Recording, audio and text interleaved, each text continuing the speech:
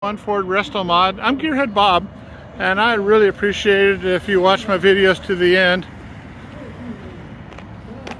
and subscribe. But more importantly, watch my videos to the end.